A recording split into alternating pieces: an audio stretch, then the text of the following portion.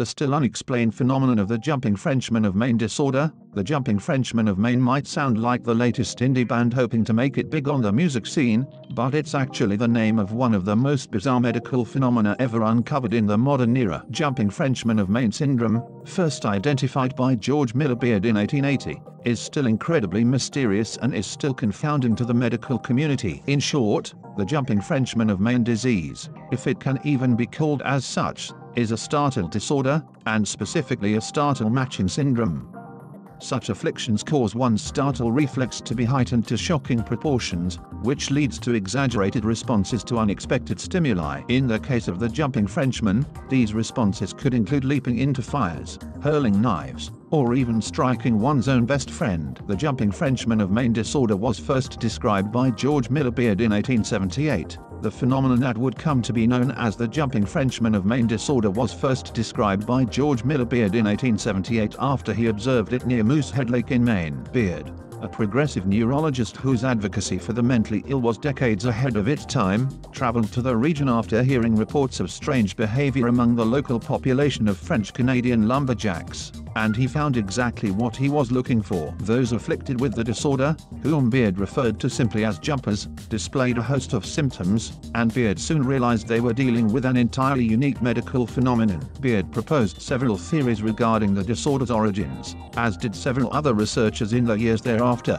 but the jumping Frenchman of Maine remain largely a mystery, and one that's unlikely to be solved anytime soon. The syndrome causes a greatly exaggerated startle reflex. In medical terms, jumping Frenchman of Maine disorder is a startle matching syndrome, which means that it promotes an extremely exaggerated startle reaction in those afflicted. All humans have a startle reaction.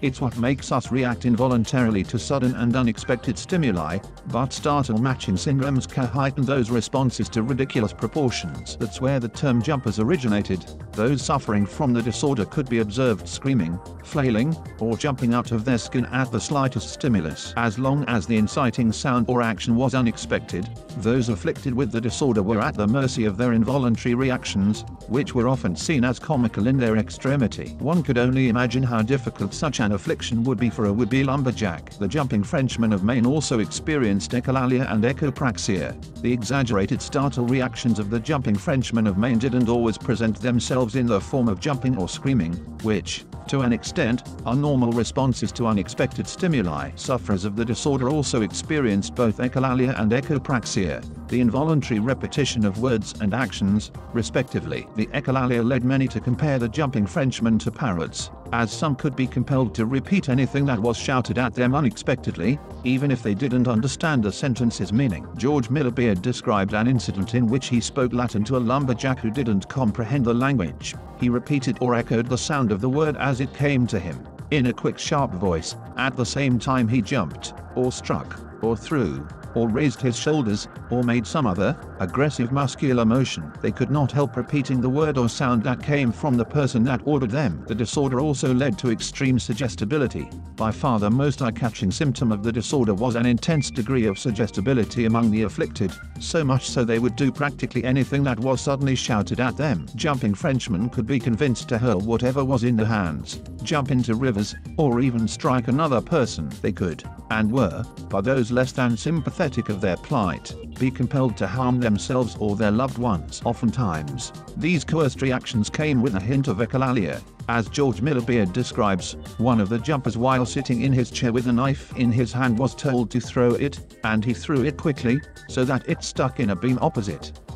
At the same time he repeated the order to throw it. Ticklishness and shyness were the least dramatic symptoms. Two of the more mundane symptoms of the disorder were an increased level of ticklishness and shyness among the afflicted, but even those symptoms hinted toward some of the darker realities of life. As a jumping Frenchman of Maine, mistreatment of the jumpers was common, especially by English-speaking lumberjacks who were easily entertained by this manipulation. This culture of teasing may have actually had an impact on the proliferation of the disorder, as some researchers observed a noticeable increase in the severity of responses in those who were more frequently startled. In other words, deliberately making a Frenchman of Maine jump would only worsen their affliction, but that didn't seem to dissuade those who delighted in tormenting them. The phenomenon was highly localized and mostly limited to French Canadian lumberjacks. As its name suggests, the jumping Frenchman of Maine disorder was highly localized. George Miller Beard only observed it in the Moosehead Lake region of Maine, and only among those lumberjacks who were of French-Canadian descent, a small portion of the overall population in that area. The phenomenon occurred almost exclusively in lumber camps. Those afflicted,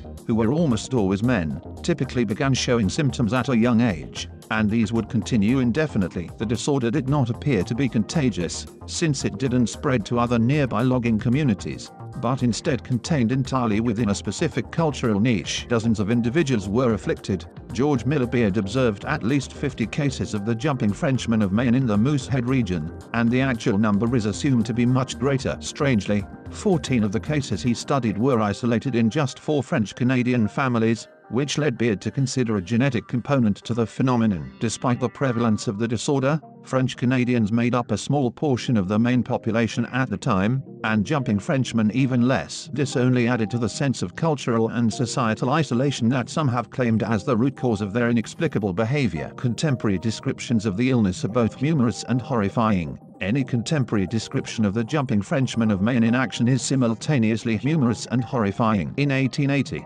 George Miller Beard recounted that, two jumpers standing near each other were told to strike, and they struck each other very forcibly. When the commands are uttered in a quick loud voice the jumper repeats the order. When told to strike, he strikes. When told to throw it, he throws it, whatever he has in his hands. They could not help repeating the word or sound that came from the person that ordered them any more than they could help striking, dropping, throwing, jumping, or starting.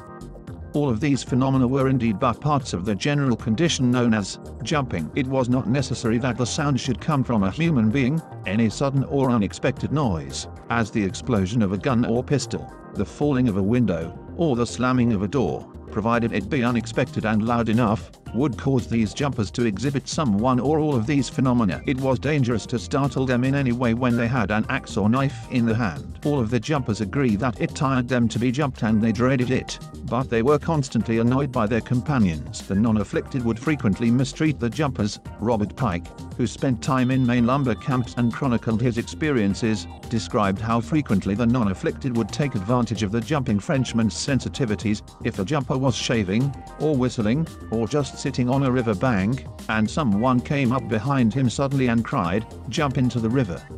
Or into the fire, if there was a fire, in he'd jump. If someone stepped up behind him and tickled him lightly, he'd jump through the roof. Strangely, the targets of such mean practical jokes never got mad about them. The men would wait until a cook was about to place a dish of soup or some other spilly food on the table and then say, drop it.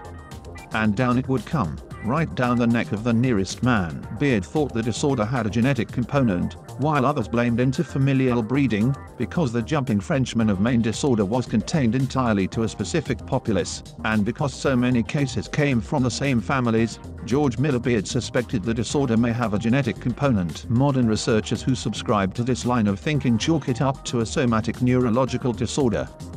Beard did not reach any hard conclusions, however, leaving the door open for other interpretations. Robert Pike, meanwhile, wrote that non-French locals believed the phenomenon was a result of interfamilial breeding, reasoning that French Canadians in Maine rarely married outside of their tiny communities. Subsequent research, however, has brought any hereditary link into question. Georges Gilles de la Tourette compared the disorder to the syndrome bearing his name, in 1885, French physician Gilles de la Tourette took great interest in the phenomenon of the jumping Frenchman of Maine. Having recently identified a similar disorder that now bears his name, Tourette syndrome, he concluded that the phenomenon in Maine was essentially the same, though later researchers disputed this claim. The major difference between the jumping Frenchman of Maine and those afflicted with Tourette syndrome is the requirement of unexpected stimuli. The tics associated with Tourette syndrome often occur entirely unprompted and without control, a stark contrast to the on-demand nature of the jumping Frenchman. Others believed the disorder was entirely psychological and probably a culture-bound syndrome. Most modern research into the jumping Frenchman of Maine contradicts the neurological theories of George Miller Beard and Gilles de la Tourette,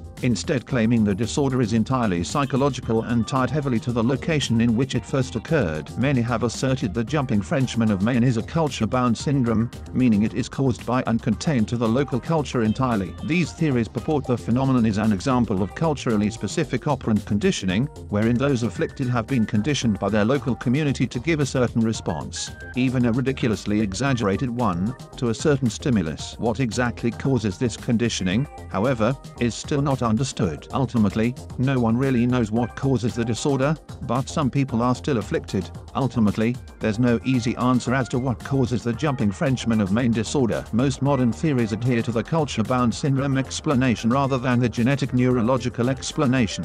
But such a conclusion is not without issues. George Miller Beard's observations demonstrated that jumpers' exaggerated reactions were completely involuntary, meaning if they were being conditioned to react to unexpected stimuli in such a way, the process was occurring on a subconscious level. Beard's observations, at the very least, rule out a case of mass hysteria. Any attempts to treat the disorder have been unsuccessful, in large part because it is still so misunderstood. The number of cases has greatly decreased since the turn of the 20th century, making any significant further study, which most agree would be necessary to reaching any definitive conclusions, next to impossible. That being said, eight jumpers were identified in Quebec for the purposes of a 1986 study on the subject and each of them was French-Canadian and living in a lumber camp. This shows the jumping Frenchmen of Maine have persisted into the modern era, and that the scientific community still doesn't understand what makes them tick. There are other versions of the jumping Frenchmen of Maine elsewhere in the world. The jumping Frenchman of Maine is a heavily localized phenomenon, existing only within lumber camps in Maine and Quebec,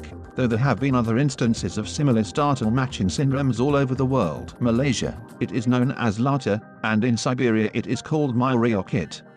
Other versions have appeared in India, Somalia, Yemen, and the Philippines. In each case, the disorder only shows up in culturally isolated communities. Perhaps the most similar phenomenon comes from certain isolated French populations in Louisiana, where the afflicted are referred to as Rajun Cajuns aside from the isolation, and in this case, the French-Canadian origins, there have been few links found between the various communities experiencing startle matching syndromes. The best origin theory revolves around boredom and a childhood game. Perhaps the best theory relating to the phenomenon of the jumping Frenchman of Maine is also one of the simplest. The disorder largely stems from boredom. In 1965, Canadian neurologist Reuben Rabinovitch, who had grown up around jumpers in Quebec, recounted the existence of a horse-kicking game in which children would attempt to provoke a reaction out of their elders by startling them. Rabinovitch posited the isolation and tedium of lumber camps motivated lumberjacks to give an exaggerated response to such attempts to startle them,